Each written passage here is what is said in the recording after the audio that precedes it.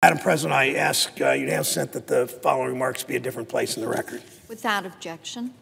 On Friday, Ohio laid to rest a dedicated public servant, Detective Bill Brewer.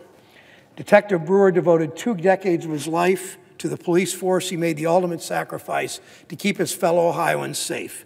He laid down his life while doing his job, responding to a desperate 9 11 call with fellow Clermont County officers in work east of Cincinnati and working to protect the people he served in Pierce Township.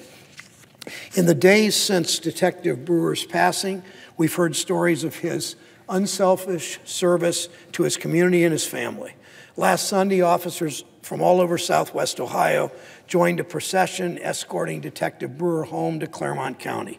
In his home of, of Amelia, Ohio, his community lined the route paying tribute to their fallen hero. Hundreds attended a memorial service on Friday, hundreds more watched on video, a fitting recognition of the sacrifice this, sacrifice this man made to keep the people of his community safe. Detective Brewer, was a proud son of Williamsburg, Ohio, a star high school athlete, a family man. Our hearts break for his wife of 13 years, Jamie, and his five year old son, Braxton.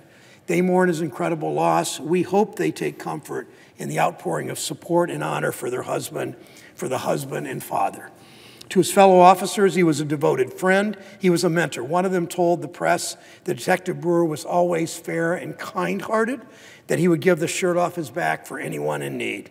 Detective Brewer's legacy will live on through the many lives he touched. In times of tragedy, Ohioans rise to the occasion, as do citizens in Clermont County. We witnessed an outpouring of community support in the days since he was taken from us. No gesture, of course, ever repays him or his loved ones. Today, we honor this hero's memory. We lift up the entire Clermont County community.